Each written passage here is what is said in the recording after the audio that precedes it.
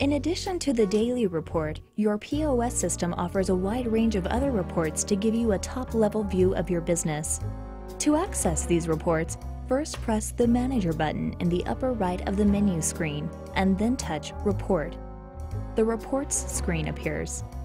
From the drop-down menu in the upper left, select the category of your choice. Highlight the correct report in the viewing pane. Enter a date range or select one of the supplied timeframes. Then touch Show Report. Once the report appears, you can print it or save it in PDF, RTF, XLS, or CSV file formats. You should now be ready to get started with your software. We also recommend that you have your employees view the employee training portion of this DVD. If you still have questions, we offer more advanced training over the phone.